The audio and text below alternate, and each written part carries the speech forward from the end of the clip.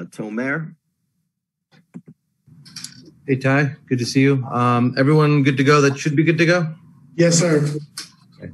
Um, in your time, both as you know, Lakers player, Clippers coach, what have you learned about the uh, Lakers Clippers rivalry over the years?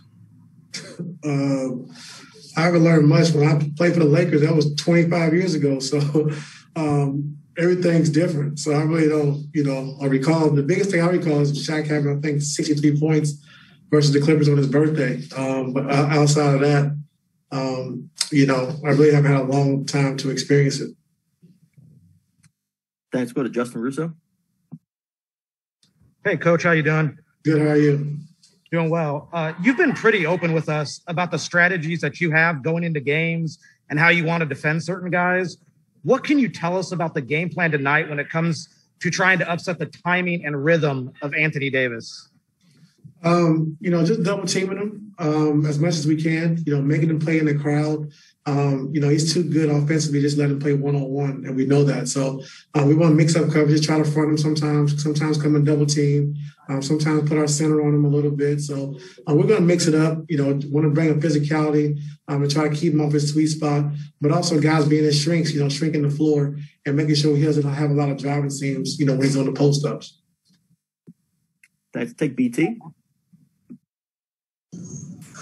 Happy belated birthday, Coach Lue. Thanks, Broderick. Welcome. hey, look, with so many guys in and out of your lineup and COVID being what it is this season, how have you been able to put in your offense for the playoffs that are coming up? Um, really, we scaled back a lot, BT. Um, you know, a lot of things we wanted to add going forward, but you know, with the addition of Rondo late in the season, with the addition of Cousins, who's now who's in the rotation, um, we got to scale back to make sure those guys catch up. And you know, we have a good enough team offensively that we, you know, been building the right habits all all year. You know, six seven months of just you know, trusting the pass, getting to the paint, drive, kick, swing, you know, teams double teaming, you know, what we're supposed to do, um, post ups when they double team Kawhi, get into our spacing. So you can really simplify the offense with this team uh, because you have nine guys that shoot over 40%. So you can shoot, simplify the offense, you know, put the ball in Rondo, PG, Kawhi's hands and let those guys make the right play and right pass and then just kind of play from there. So uh, we want to make sure we just simplify as much as possible for Cousins and Rondo right now. When we go into the playoffs, these guys can play without thinking. Thanks, BT. We'll go over to Andrew. I hope you're doing well. Uh, I have two for you. One, one is just they don't have Lakers are down a, a, number of ball handlers tonight. I guess you have the luxury of having a pretty full backcourt. How do you how do you can you guys make life difficult beyond already what it is for the Lakers for those ball handlers tonight? Um, just try to put pressure on them as much as we can. You know, getting up the floor. You know, with Pat, with Reggie, with Rondo. Um, try to disrupt as much as possible. Um, you know, but that means it's going to be a steady dose of AD, you know, which, you know, you don't want a lot of. Uh, so we got to mix things up with AD, just make sure we keep them, you know, try to keep them off balance as much as possible. Um, like I said, Coach Vogel's a good coach. So, you know, he, he'll figure it out uh, what they need to run and how they need to get into their offense and who they need to play through. And then you just talked about, you know, during this last stretch run about really wanting your guys to be rested and, and ready. And, but it seems like there's some obstacles maybe where you only have a few opportunities left to really test out these rotations like you've wanted. Um, and then with the West seating still so much up in the air, I guess, how do you envision balancing trying to feel comfortable with the rest guys have, but also with the lineups that you kind of haven't seen yet? Yeah, it's a tough balance. You know, we're gonna listen to our medical staff, our, you know, sports science guys, and, and just listen to our players and see how their body is feeling. You know, the most important thing for us, like I said, is health um, trying to get into the playoffs healthy, and um, you know just kind of go from there. Thanks, Dan. Thanks. Go over to Dan. Hey Ty, you guys have so many point guards. The Lakers have none. You, are not willing to loan them one tonight, are you? Or... No, they don't need much help. You know, they're, they're the champs. Um, they still have a championship DNA. Um, they play that way. And like I said, just you know, Coach Vogel was in the same situation we've been in, and um, you know, when AD and Bron was out, just kind of, you know, finding ways to win with that team, playing a different style of basketball. And now just figuring out how to, you know, implement his guys back in with AD coming in, with Drummond coming in, um, and when Bron gets back. So it's going to take some time to get in that flow and get that rhythm back. And, uh, you know, we're kind of going through the same thing right now ourselves. Yeah, the um, to take you away from tonight's game just for a quick second. Uh, next weekend is a Hall of Fame inductions. Um, obviously, Kobe will be part of that amazing class. Um, having played with him and now coaching guys like Paul and Kawhi who grew up watching Kobe, do you, do you see any elements of, of Kobe's game in the way that either of those guys play?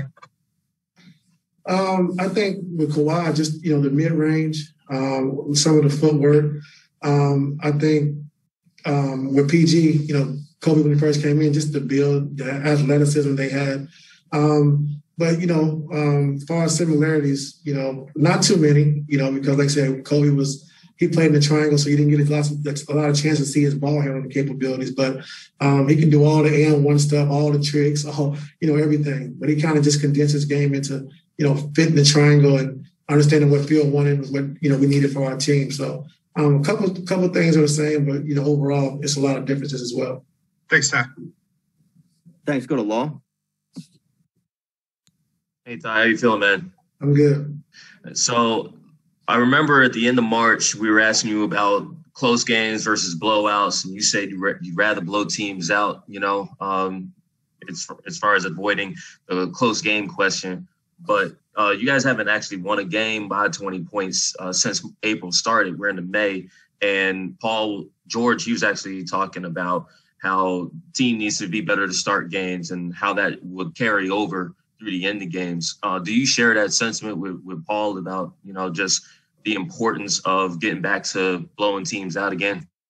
well, you're not going to blow every team out. And, um, you know, just talking to uh, Noah Eagle today when I was doing Fox, um, you know, he just told me that we're fourth in um, um, clutch minutes, you know, since All Star break. Um, so uh, we have gotten better. You know, I know Cam was pretty, you know, mad about that early on in the season you know, but I said it's going to take some time. And um, now we've gotten to that point where, you know, we've been able to execute down the stretch and, you know, being fourth in the clutch minutes since All Star break is is pretty good for us, you know, and we got to keep working on it. Um, but you know, you got to give all the credit to PG and Kawhi. You know, a lot of film work with those guys and the spacing and just letting those guys understand that you know you, you can still trust the pass. You know, we know it's a lot your shoulders in the games. You want to take over the games, but your teams are going to double team, teams are going to blitz you know, just making that extra pass and making that play for your teammate, and just got to keep trusting. And um, so all the credit goes to those two guys. Thanks. Looks like we got time for one last one. We'll go to Shane Young. Hey Ty, hope all is well today.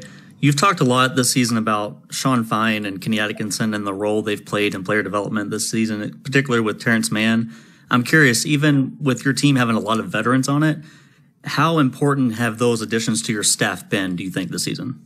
Oh, very important. You know, I think, you know, every single day they call, you know, guys getting their vitamins. And, you know, Roy Rogers has been great with Zoo, you know, um, just working with him and, you know, keeping him fine tuned. You know, Sean Fine with the shooting with Terance Mann. You know, Kenny running the whole program, you know, with Amir Coffey and, you know, Luke Kennard staying ready because they're playing four on four and five on five. Pat Pat staying ready. And um, just having a program in place that every single day guys know what they're going to do, what they're doing, and it's all laid out for them. That's all we got for you today, Coach. Have a good game. Thank you.